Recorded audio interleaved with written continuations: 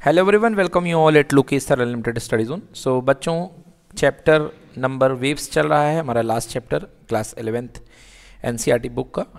और कल हमने काफ़ी कुछ टॉपिक कवर करे, आपने देखे होंगे कल की क्लास में। आज उन टॉपिक्स के आगे के टॉपिक हम कवर करेंगे। एक बार मैं आपको बता देता हूँ, जो जो हम लोगों ने कल कवर किया है, वो क्या क्या था, उसको हम लोग देख लेंगे। कल जो हमने कवर किया था characteristics of medium propagation of wave बताया था इलास्टिसिटी एंड इनर्शिया इसके साथ ही साथ हमने इंट्रोडक्शन ऑफ़ वेव कंप्लीट किया था। What are the sources of electromagnetic wave मैंने आपको बता दिया था। अब आइए बात करते हैं अगले टॉपिक की। पहला जो हम बात करने जा रहे हैं आज के क्लास में, जो है principle of superposition of wave आज हमारा अगला टॉपिक है। तो आज के टॉपिक की हेडिंग बना लीजिए बच्चों कॉपी में आप लोग। Principle of superposition of wave okay principle of superposition of wave position of wave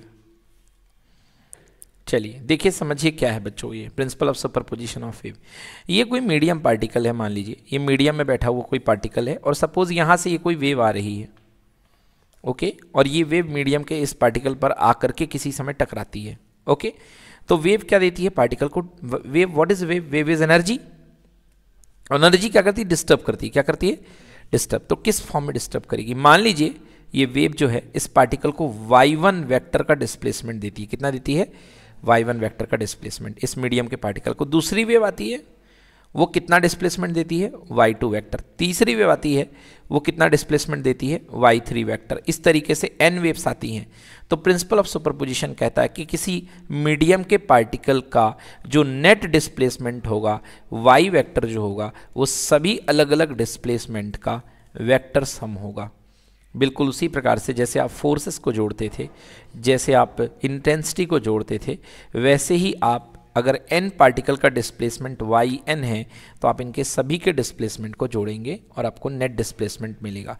ये जो प्रिंसिपल ऑफ़ सुपरपोजिशन है, ये एलेवेंथ क्लास के साथ साथ ट्वेल्थ क्लास के लिए भी बहुत ज़्यादा इंपॉर्टेंट है। और ये यही बात कहता है कि जो नेट डिस्प्लेसमेंट होता है, किसका? मीडियम के पार्टिकल का। वो इंडिविजुअल डिस्प्लेसमेंट का वेक्टर सम होता है। कौन सा सम होता है?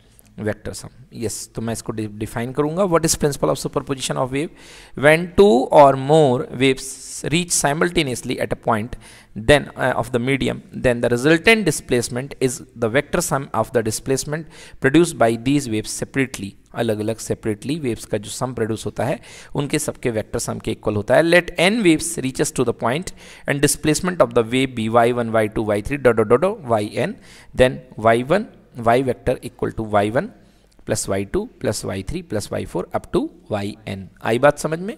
तो ये एक तरीके से आपको वेव्स का जुड़ना सिखा रहा है। क्या सिखा रहा है वेव्स का? जुड़ना। अब वेव्स किस आधार पे ऐड होती हैं? कौन सी वेव्स ऐड होती हैं? कैसे ऐड होती हैं? तो सुपर पोजिशन जब होता है तो वो अपने साथ साथ तीन फिनोमिनन को लेके आता है। सुपर पोजिशन जब होता है वेव्स का तो अपने साथ साथ वो तीन इवेंट को कैरी आउट करता है। समझ में आया? मतलब वेव्स जब कई वेव एक जगह पे आएँगी, कई वेव जब एक जगह पे आएँगी तो आपके सामने कुछ वेव फिनोमिनन वेव की कुछ नई नई चीज़ें आपके सामने घटित होने वाली हैं। उन चीज़ों का नाम है, उन फिनोमिनन का नाम है, पहला नाम है इंटरफेरेंस क्या नाम है बेटा? इंटरफेरेंस आपने सुना होगा इंटरफेयर आपने सुना होगा इंटरफेयर मतलब कि दो दोस्त बात कर रहे थे, ये दोस्त वन था और ये दोस्त टू था। ये दोनों आपस में लड़ रहे थे। ये दोनों आपस में क्या कर रहे थे? लड़ रहे थे। ये सुनो तीसरा दोस्त आता है, वो गाना गाते हुए आता है। बोलो हाँ ना? कैसा आता है? गाना गाते हुए। इनके बीच में माहौल बहुत गड़बड़ है। ये लोग बहुत गुस्सा में हैं। और तीसरा जो है, वो बढ़िया वाला गाना गाते हुए आ रहा है। तो क्या हो सकता है? हो सकता है दोनों अपनी दुश्मनी छोड़ के पहले इसको पीटें कि तेरे को समझ में नहीं आ रहा, हम लोग आपस में लड़ रहे हैं और तू गाना गा रहा है।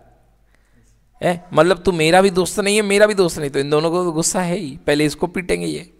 तो ऐसे ही कुछ होने वाला है कि दो वेव, तीन वेव आपस में आकर के किसी पॉइंट पे टकरा जाएँगी और फिर कुछ होगा। तो जो कुछ होने वाला है, उसमें कुछ नाम है आपको मैं बता दूँ। Name the three phenomenon based on the principle of superposition principle of superposition के बेस पर तीन फिनोमिनन होती है। नंबर वन क्या है? इंटरफेरेंस क्या है? इंटरफेरेंस ठीक है ना? नंबर टू पे बनेगी बीट्स क्या बनेगी नंबर टू पे? बीट्स और नंबर थ्री पे बनेंगी स्टेशनरी वेव्स। तो इन तीनों टॉपिक को हम लोग डिटेल में बड़े प्यार से, बड़े अच्छे से पढ़ेंगे कि तीनों फिनोमिनन क्या होती हैं। है ना? इंटरफेरेंस पढ़ेंगे, बीट्स पढ़ेंगे स्टेशनरी वेव पढ़ेंगे। क्लास ट्वेल्थ में तो इंटरफेरेंस आपको बहुत परेशान करने वाला है। क्लास ट्वेल्थ में आपको वेव का सुपर पोजिशन और इंटरफेरेंस भी बहुत सारा पढ़ना है। बोलिए, क्लियर है मेरी बात आपको? चलिए अब आगे बात करते हैं। अब हम पढ़ते हैं एक टाइप वेव के छोटे छोटे टाइप पढ़ेंगे। सबसे पहले हम वेव का टाइप पढ़ेंगे। नंबर वन है प्रोग्रेसिव वेव कौन सी वेव है?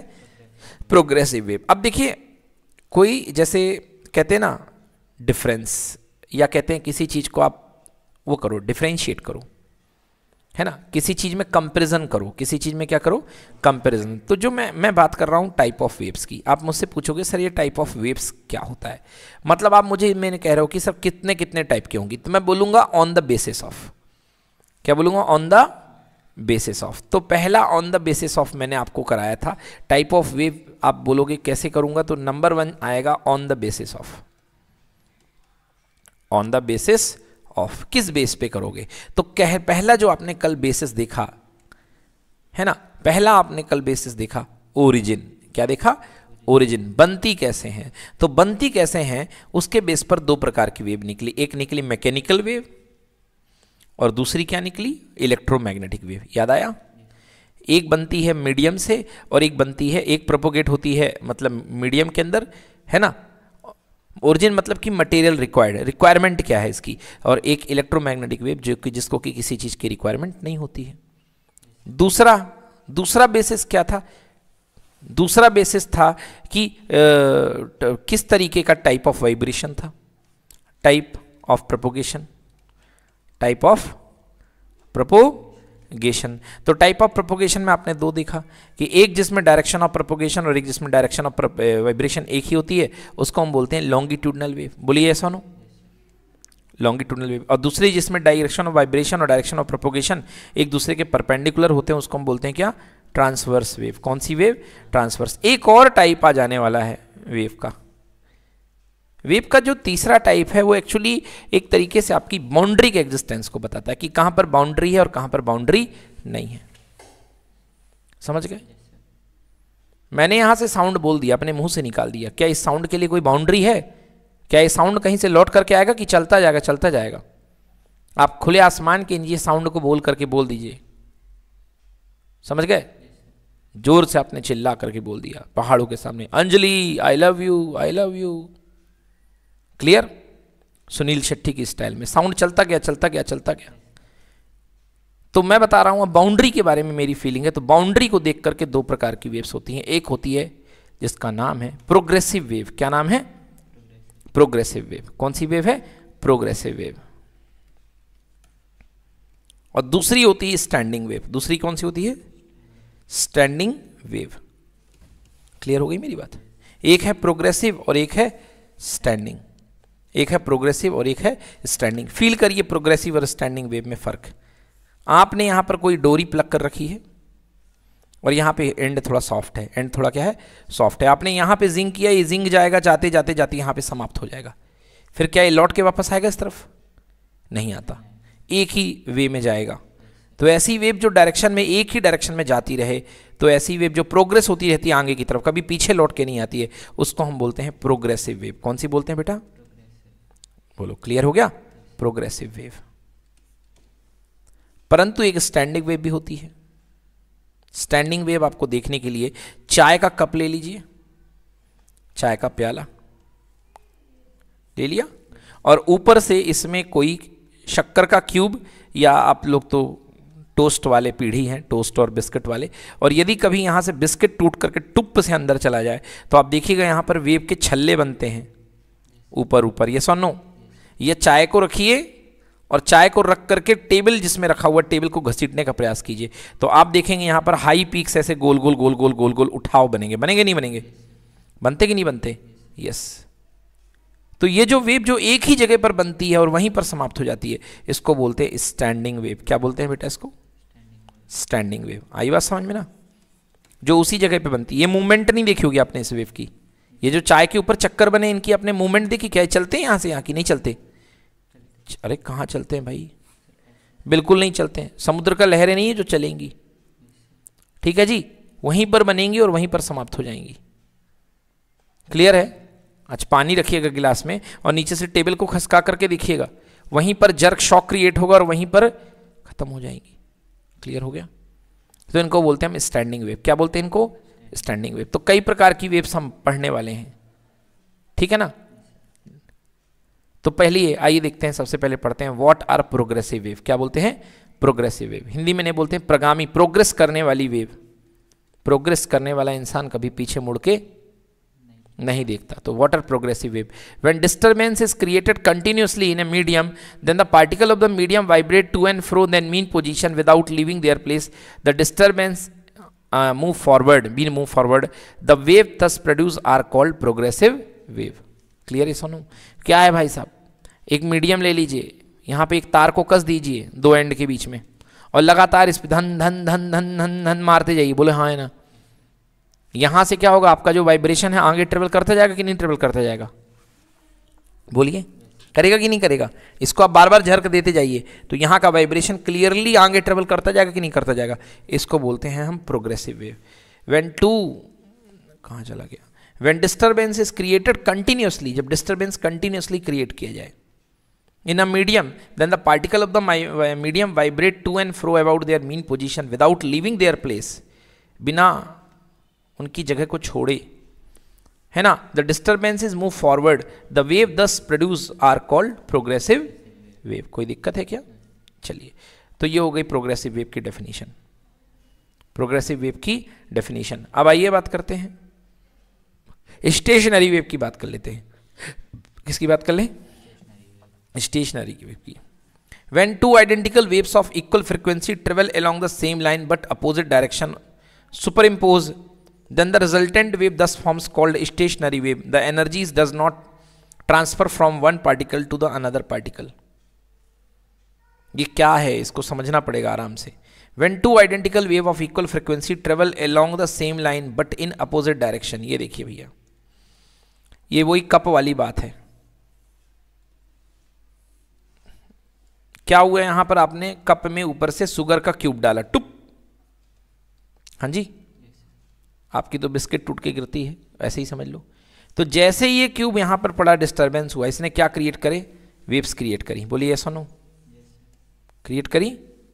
अब ये वेव्स जाकर के जैसे बाउंड्री में टकराई तो अपोजिट डायरेक्शन में मतलब एक वेव यहाँ वाली और एक वेव यहाँ वाली।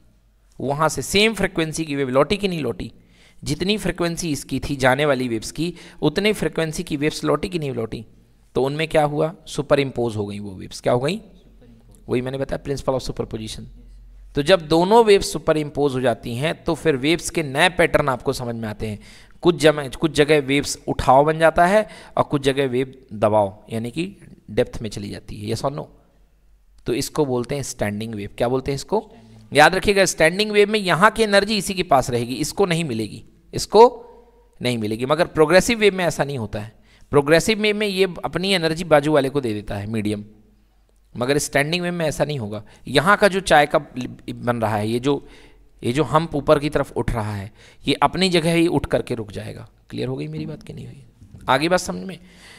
तो भाई what are stationary wave when two identical waves of equal frequency travel long the same light but line but in the different in but in opposite direction superimpose then resultant wave thus formed is called stationary wave the energy does not transfer from one particle to another particle इसमें energy एक जगह से दूसरे जगह में transfer नहीं होगी बोले क्लियर है कि नहीं क्लियर अगला है how many types of stationary waves are there कितने टाइप की स्टेशनरी वेव होती हैं right one example ट्रां there are two type of stationary wave ये मैंने आपको बता रखा है वेव्स के type transverse wave and longitudinal wave transverse wave if the direction of propagation of mechanical wave perpendicular होता है वाइब्रेशन के याद है तो उसको पढ़ देता हूँ मैं if the during the propagation the mechanical wave in the medium the particle of the medium vibrate along their mean position in direction perpendicular to the direction of the wave propagation then the wave is called transverse wave इस पे चर्चा हो चुकी है अगला longitudinal wave during the propagation of mechanical wave in the medium the particle of the medium vibrate along their mean position है ना? Along in along the the particle vibrate along their mean position along the direction of wave propagation along the direction of their wave propagation this this type of wave is called longitudinal wave बोली clear है? चलिए बच्चों अगला question आता है देखिए बहुत ही इंपॉर्टेंट क्वेश्चन है right any three differences right any three differences between the transverse wave and longitudinal wave तो मैं डिफरेंस पढ़ देता हूँ पहला transverse wave the particle of the medium vibrate their mean position at right angle to the direction of the propagation yes और no Here, the particle of the medium vibrate about their mean position along the direction of the propagation of wave. बिल्कुल सही। Crust and trough are uh, crust and trough are है troughs are formed in the medium compression and rarefaction are formed in the medium these waves can travel through solid and on the surface of liquid ये जो wave होती हैं transverse wave ये solid में travel होती हैं and on the surface of the liquid these wave can travel through solid liquid and gas ये solid में भी लिक्विड में भी गैस में भी ट्रेवल कर सकती है याद कीजिए मैंने आपको बताया था ट्रांसवर्स वेव जो होती हैं these wave travel through solid liquid through solid and the surface of liquid मगर जो लॉन्गिट्यूडनल वेव होती है, वो सॉलिड में भी लिक्विड में भी और गैस में भी। जैसे sound is a longitudinal wave sound gas में भी फ्लो होती है। मगर ट्रांसवर्स जो होती है सॉलिड में भी और लिक्विड में भी। ट्रांसवर्स गैस में सॉरी उसमें फ्लो नहीं होगी एयर में। क्लियर हो गया? या या तो वैक्यूम में फिर होगी, है ना? मैंने आपको एग्ज़ाम्पल बताया था, याद करिए। हथौड़ी से यहाँ मारा था सॉलिड में। यहाँ से मारा था। तो जब यहाँ से मारा था तो कौन सी वेव क्रिएट हुई थी? लॉन्गिट्यूडनल और जब यहाँ ऊपर से मारा था तो मैंने कौन सी वेव क्रिएट करके दिखाई थी? ट्रांसवर्स तो सॉलिड में दोनों प्रकार की वेव क्रिएट होंगी। है ना? सॉलिड में दोनों प्रकार की वेव होंगी। लॉन्गिट्यूडनल भी और ट्रांसवर्स भी। ठीक है। अच्छा। ओके अब एक बात करते हैं कि bats can ascertain distances direction and nature of the sizes of the obstacle without any eyes चमगादड़ों की आँख नहीं होती है, मगर कैसे कर पाते हैं? मैंने आपको बताया था कि बैट्स जो होते हैं, वो अल्ट्रासोनिक वेव छोड़ते हैं। क्या छोड़ते हैं? अल्ट्रासोनिक, और वो यहाँ से मुँह से अल्ट्रासोनिक वेव भेजेंगे और वो टकरा करके वापस आएगी, उससे उनको पता लग जाता है कि ये ऑब्जेक्ट कितनी डिस्टेंस पे है। समझ गए? और इसका कैलकुलेशन कर लेते हैं। तो लिखा है, bat can hear the ultrasonic wave. Bat जो होते हैं, अल्ट्रासोनिक वेव, सुन सकते हैं। The frequency greater than twenty thousand hertz मतलब हम लोग समझ नहीं पाएँगे सुनाई नहीं देगी हमको। It emits ultrasonic wave which travels in the medium strike with the obstacle and come back by the time taken in this process the position of the obstacle can assist क्या मतलब कितनी बढ़िया बैट को इन लोगों ने imagination दी है भगवान लोगों ने। वो बिना कैलकुलेशन बिना फिजिक्स जाने वो डिस्टेंस का पता लगा लेता है रेज रेज भेज करके। समझ में आया? साउंड भेज के। क्लियर हो गया? कि नहीं हुआ क्लियर चलिए। चलिए बच्चों, अगला आ गया क्वेश्चन सबसे इंपॉर्टेंट इस चैप्टर का what are progressive wave derive its equation ये सबसे इंपॉर्टेंट डेरिवेशन इस चैप्टर का प्रोग्रेसिव वेव का इक्वेशन ड्राइव करना। सबसे इंपॉर्टेंट जो डेरिवेशन है, वो है प्रोग्रेसिव वेव का इक्वेशन इसको आपको बहुत अच्छे समझना होगा। ये इस चैप्टर की बड़ी ही महान चीज़ है। थ्योरी सी थ्योरी बता देता हूँ consideration when the disturbance produce from the body executing simple harmonic motion propagates in the medium, then the particle of the medium vibrate to and fro about the mean position and the disturbance advances in the median. The waves thus produced are called progressive wave. चलिए देखिए क्या हो रहा है किसमें कह रहा है कि the disturbance produce from a body कोई बॉडी है उसका कोई पार्टिकल है उसका particle S H M execute कर रहा है क्या एग्जीक्यूट कर रहा है एस एच एम मतलब simple harmonic motion executing simple harmonic motion propagates in the medium तो अगर कोई पार्टिकल सिंपल हार्मोनिक मोशन कर रहा है तो उसके डिस्टर्बेंस का ये वेव बनेगा। ये वेव दिया गया है, इसको हम बोलते हैं progressive wave consider a harmonic wave propagated in a medium along the positive direction X axis एक वेव है जो कि एक्स एक्सिस की पॉजिटिव डायरेक्शन में ट्रेवल कर रही है। The speed of the propagation of the wave is V जो वेव ट्रेल चल रही है वेव की वेलोसिटी कितनी है बच्चों? वी वेलोसिटी वेव की वेलोसिटी भी है। Its source is at origin यहाँ पर जो सोर्स है वेव का कहाँ पर है? ओरिजिन पर है। The source is executing S H M then the displacement of the particle situated at O at an instant be given by o, y is equal to a sin omega t. अब यहाँ से मेरा काम शुरू होता है। ठीक है? चलिए देखिए। तो क्या कहा गया यहाँ पर कोई पार्टिकल है। एक कोई पार्टिकल है और वो पार्टिकल क्या परफॉर्म कर रहा है? सिंपल हार्मोनिक मोशन और सिंपल हार्मोनिक मोशन जब पार्टिकल करता है तो जैसे कि एक मीडियम का एक पार्टिकल है, ये। ये मीडियम का पार्टिकल अपनी मीन पोजीशन में है, ये यहाँ गया, फिर वापस आया, फिर इधर आया, फिर इधर आया। तो इसके कॉरस्पॉन्डिंग इसके वाइब्रेशन के कॉरस्पॉन्डिंग मीडियम में एक डिस्टर्बेंस ट्रेवल कर जाएगा। देखिए, कैसे हुआ था? यहाँ गया, ये ऊपर, फिर वापस आया, फिर इधर गया और फिर वापस आ गया। आगे बात समझ में? ये वन वेव है। क्लियर हो गई? मतलब ये इतना डिस्टर्ब हुआ है और इसके, इसका जो डिस्टर्बेंस है, वो मीडियम का पार्टिकल यहाँ से लेकर के यहाँ तक ट्रेवल कर दिया है। एनी बॉल कोई समझ में आई तो ये क्या है? डिस्प्लेसमेंट बदल रही है। वाई तो मैंने इसका ग्राफ बनाया था। ये बार बार ट्रेवल हो ही जा रहा था। ये बार बार ट्रेवल होने को, ये जो बन रहे हैं, इसके छल्ले बार बार इनको बोलते हैं हार्मोनिक्स क्या बोलते हैं? हार्मोनिक्स ये फ़र्स्ट हार्मोनिक है, ये सेकंड हार्मोनिक है। अगर कोई वेव बार बार रिपीटेशन दिखाती है तो इसको हार्मोनिक बोलते हैं। तो मैंने जो इसका डिस्प्लेसमेंट इक्वेशन आएगा इस वेव का, वो क्या बनेगा? Y is equal to a sine omega t बोलिए, बनेगा कि नहीं बनेगा? Y is equal to a sine omega t यहाँ पे t क्या आपको पता है? T जो है, वो किसी भी समय का टाइम है इंस्टेंट ऑफ़ टाइम और ए क्या है? एम्पलीट्यूड है। और ओमेगा क्या है? Angular frequency so better you know omega is equal to two pi by t जानते हैं ना आप लोग? 2 pi by t and this is equals to 2 pi nu 2 pi nu here nu is the frequency and t is the time period ठीक?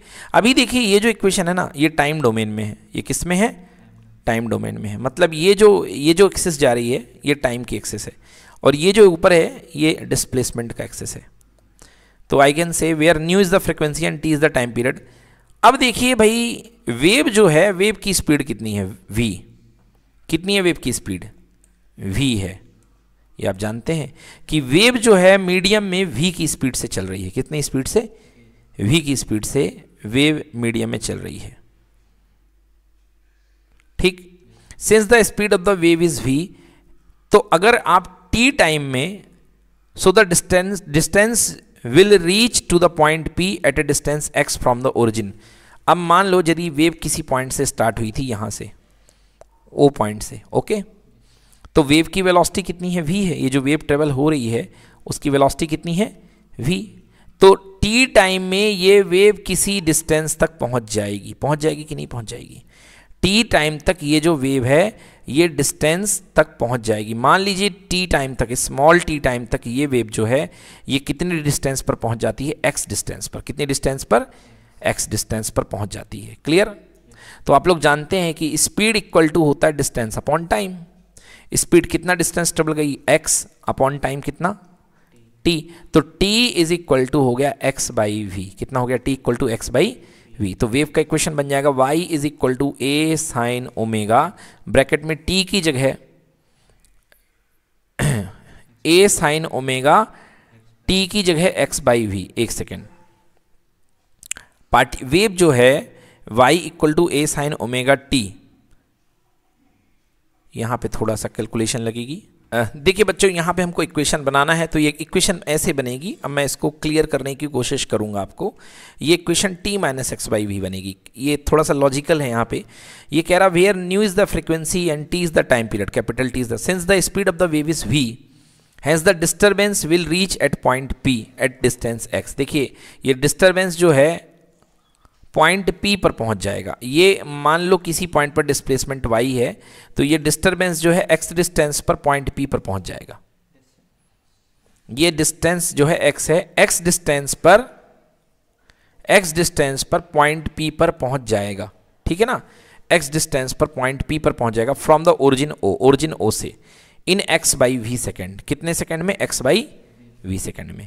तो हमको wave का equation यहाँ से लिखना है। ठीक है ना? तो हमको एक्स वाई वी को क्या करना पड़ेगा? पीछे करना पड़ेगा। क्योंकि यहाँ तक का जो टाइम मेंटेन हो रहा है, यहाँ तक का जो टाइम कितना आ रहा है, बोलिए x upon v second clear है? तो हमको इक्वेशन यहाँ से वेव की लिखनी है। तो हम क्या करेंगे? एक्स वाई वी सेकेंड को पीछे की ओर लेके जाएँगे मतलब माइनस करेंगे। तो ये जो इक्वेशन बनेगी अब यहाँ पे आपकी तो the displacement of the particle situated at point P ये देखिए पॉइंट पी पर जो वेव बन रही है पॉइंट पी पर जो वेव बन रही है। देखिएगा, ध्यान से याद रखिएगा, मैं इस पॉइंट पी की वेव बता रहा हूँ। मैं इस पॉइंट की वेव नहीं बता रहा हूँ। अब, अभी मैंने इस पॉइंट की वेव बता रहा था तो आपका आंसर क्या था? Y equal to a sine omega t is equal to y equal to a sine omega t okay a sine omega और टी की वैल्यू कितनी? एक्स अपॉन वी तो ये ओरिजिन से बनने वाली वेव का इक्वेशन हो गया। बट आपको इस पॉइंट पर वेव का इक्वेशन देना इस पर्टिकुलर पॉइंट पर। इस पर्टिकुलर पॉइंट पर आपको वेव का इक्वेशन देना तो ध्यान से देखिए, इस पर्टिकुलर पॉइंट पर जो t है, वो कितना है? t इक्वल टू है x अपॉन वी इस पॉइंट पर t equal to x upon v है। तो क्या जुड़ेगा? इधर लेकर के आइए।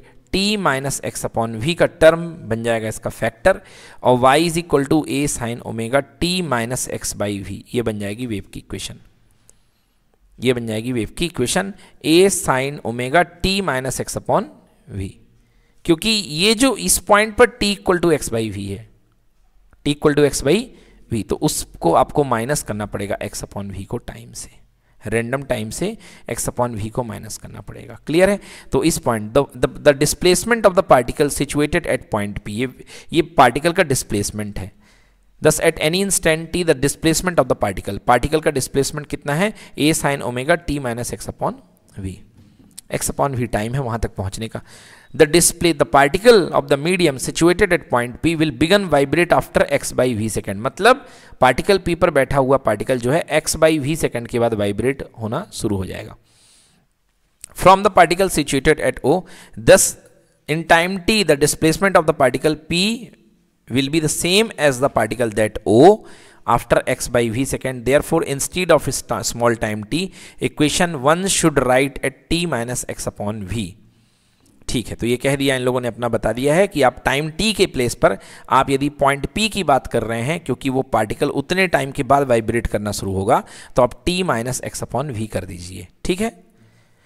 Equation two shows a progressive wave देखिए, अभी वेव जो है, इधर की ओर चल रही थी, आगे की ओर राइट साइड तो t minus x upon v हुआ है। अगर वेव इधर की ओर चलेगी तो क्या हो जाएगा? T plus x upon v minus की जगह plus equation two shows progressive wave propagating along the positive direction of x axis with a velocity v as progressive wave is traveling along the negative direction of x axis then the equation of the wave is equal to y equal to a sin omega t plus x by v तो आपको समझ में आना चाहिए कि अगर wave इधर की ओर मूव कर रही है तो वेव का इक्वेशन क्या बनेगा y equal to a sine omega t minus x upon v clear और अगर इस तरफ़ मूव कर रही है तो y is equal to a sine omega t plus x upon v clear है? बोलिए क्लियर हो जाएगा ना? T plus x upon v तो ये दोनों वेव के इक्वेशन बन चुके हैं। अब इसके अलग अलग फॉर्म भी देख लीजिए, जो बड़े इंपॉर्टेंट फॉर्म कई बार आते हैं। Y is equal to a sine omega अभी आपने क्या देखा? Y equal to a sine omega bracket में t minus x upon v यही तो देखा आपने। Y equal to a sine omega bracket में t minus x upon v ये t minus x upon v आप जानते हैं ओमेगा की वैल्यू क्या होती है? Two pi nu two pi nu तो y is equal to a sine two pi nu bracket में t minus x upon v nu की वैल्यू होती है वी अपॉन लेमडा क्यों? क्योंकि v इज़ इक्वल टू होती है nu lambda so nu equals to होता है वी अपॉन लेमडा तो जहाँ न्यू है, वहाँ वी अपॉन लेमडा पुट कर दें। तो ए साइन टू पाई इसकी जगह कितना हो जाएगा? Nu upon two pi nu की जगह वी अपॉन लेमडा और टी माइनस एक्स अपॉन कितना? वी अब इसको अंदर कर दीजिए। तो ये बन जाएगा y is equal to a sine a sine two pi अंदर बाहर है और लेमडा बाहर है। वी अंदर चला गया तो क्या बन गया? वी टी क्या बन गया? वी टी और वी से भी क्या हो गया? कैंसिल कितना बन गया? X v t minus x तो ये बन गया भाई साहब a sine two pi v t minus x ये है प्रोग्रेसिव वेव का इक्वेशन क्या है ये? प्रोग्रेसिव वेव का इक्वेशन बोली क्लियर है एकदम? ठीक है? तो ये बहुत इंपॉर्टेंट है ये चीज़, इसको आप लोग बार बार करिए। चलिए देखिए, अब नेक्स्ट क्वेश्चन की ओर चलते हैं। अगला हमारा है, यहाँ पर question short answer type question का question number one explain Newton's formula for velocity of sound in air अब हम लोग यहाँ पे velocity of sound in air निकालने की बात करेंगे कि velocity of sound in air कैसे निकाली जाती है। चलिए, देखिए बच्चों, ये एक थ्योरेटिकल प्रूफ है, इसको आपको मान करके चलना है न्यूटन्स के बारे में। Explain the Newton's formula for velocity of sound in air from purely theoretical consideration Newton gave empirical relation to calculate the velocity of sound in a gas Newton ने जो फॉर्मूला दिया किसी गैस की velocity find करने का आ, किसी sorry किसी sound की वेलोसिटी फाइंड करने का velocity of a sound in a gas. Gaseous medium के लिए न्यूटन ने फॉर्मूला दिया लिख लीजिए। Velocity of the sound is equal to under root bulk modulus upon density. ये फॉर्मूला था न्यूटन का। ठीक है ना? ये आपको याद करना पड़ेगा ये जो फॉर्मूला था ये बल्क मॉडुलस अपॉन डेंसिटी का फॉर्मूला न्यूटन ने दिया था। गैस की स्पीड को पता करने के लिए। फिर आगे क्या होता है? लिखा हुआ है where B is the bulk modulus and rho is the density sound travels in a gas in the form of compression and refraction Newton assume that the changes in pressure and volume of a gas when sound wave are propagated through it is isothermal ये बहुत बड़ी गलती Newton की। Newton ने ये मान करके चले कि जब साउंड ट्रेवल करता है तो ये प्रोसेस जो होती है आइसोथर्मल होती है मतलब मीडियम का कोई भी टेम्परेचर चेंज नहीं होता है। साउंड के ट्रेवल होने पर मीडियम का कोई भी चेंज कोई चीज़ चेंज नहीं होती है। क्लियर हो गया? तो भाई, the amount of heat produce during the compression is lost and and is lost to the surrounding and similarly the amount of heat loss during the rarefaction is gain from the surrounding. मतलब क्या है? भाई, isothermal है process. मतलब change in temperature equal to कितना? Zero. मतलब जितना temperature बढ़ेगा, उतना घट जाएगा। ये लाइन अच्छे से पढ़िए, यही लिखा है। The amount of heat produce during compression is lost to the surrounding and similarly, amount of heat lost during rarefaction is gained from the surrounding so to as keep the temperature constant, इस प्रकार से कि temperature जो है constant बना रहे। Using the coefficient of isothermal elasticity B I use किया गया। न्यूटन का जो फॉर्मूला बन गया, वो कितना बन गया आपके पास में? V velocity is equal to B की जगह B isothermal upon density clear है? अब हम आइसोथर्मल डेंसिटी निकालेंगे कि आइसोथर्मल डेंसिटी क्या होती सॉरी आइसोथर्मल बल्क मॉडलस क्या होता है? आइसोथर्मल का हमको बल्क मॉडलस निकालना है। कैसे निकालेंगे? देखिए। आपको पता है कि जो कंडीशन होती है आइसोथर्मल की वो होती है P V equal to constant याद है? क्योंकि पी वी इक्वल टू होता है N R T ideal gases के लिए। एन भी कॉन्स्टेंट आर भी कॉन्स्टेंट टी भी कॉन्स्टेंट मतलब पी वी इक्वल टू कितना हो जाएगा? कॉन्स्टेंट क्लियर है? अब आपको यदि पी वी कॉन्स्टेंट है तो याद कीजिए क्या करेंगे हम लोग? आइसोथर्मल क्या निकालना है? कोफिशियंट ऑफ़ आइसोथर्मल ये बल्क मॉडलस निकालना है। बल्क मॉडलस मैंने आपको क्या पढ़ाया था? याद है आपको? बल्क मॉडलस जो आपको पढ़ाया गया था, वो पढ़ाया गया था change in pressure upon change in volume upon original volume ठीक है ना? Change in pressure upon change in volume upon original volume ये चीज़ आपको पढ़ाई गई थी बल्क मॉडल्स के केस में। तो कैसे निकलेगा P V equal to constant से? इसके ऊपर डेल्टा फिट करिए। डेल्टा किसके ऊपर? पी वी के ऊपर equal to delta constant constant का डिफरेंशिएशन कितना होता है? ज़ीरो और पी वी का डिफरेंशिएशन मैंने क्या रूल बताया था? First function P into second का differentiation delta V plus second function V into first का differentiation delta P equal to कितना? ज़ीरो क्लियर है? अब देखिए। तो हमको चाहिए डेल्टा, इसको मैं लिख सकता हूँ, delta P into V upon delta V बोलिए ये सुनो। हमको यही तो चाहिए क्योंकि डी पी ऊपर रहेगा वी ऊपर आ जाएगा और डेल्टा वी नीचे रहेगा। तो क्या क्या भाई अपने पास जुगाड़? वी डेल्टा पी की तो जुगाड़ है और डेल्टा वी को इसको नीचे जान दीजिए। तो यहाँ से लेके जाइए। वी डेल्टा पी इधर रख लीजिए। वी डेल्टा पी यहाँ रख लिया और पी डेल्टा वी को इधर ले जाइए। Minus P delta V clear? और इसको इधर लेके आइए। तो v delta P upon delta V clear equal to कितना बच गया? माइनस का प्रेशर माइनस का प्रेशर क्लियर बचा कि नहीं बचा? या इसको आप ऐसे भी लिख सकते हैं। V delta P upon delta V हमको क्या चाहिए था? डेल्टा पी इंटू वी यहाँ पे कुछ गड़बड़ी हुई है? ये v है। यस जी हाँ ये v डेल्टा पी है। इक्वल टू कितना हो गया? Minus P. कितना हो गया ये? Minus P. ये हो गया अपने पास माइनस पी। इसको मैं और क्या लिख सकता हूँ? इसको मैं लिख सकता हूँ डेल्टा पी, क्लियर? और divided by delta V by V delta V by V negative sign यहाँ दे दीजिए तो आंसर कितना आ गया? पी आ गया। क्लियर हो गया? मतलब और ये क्या था? ये था बल्क मॉडलस आप लोग को याद है ये क्या था? बल्क मॉडलस तो बल्क मॉडलस किसके इक्वल होता है? प्रेशर के इक्वल किसके इक्वल होता है? प्रेशर के। इक्वल तो फॉर्मूले में क्या था? ऊपर बल्क मॉडल्स था। तो बल्क मॉडल्स कीजिए क्या आ जाएगा? प्रेशर। क्या आ जाएगा? प्रेशर। तो फॉर्मूला बन गया equal to under root P by rho P by rho तो ये फॉर्मूला निकल करके आ गया under root P by rho समझ में आ गया?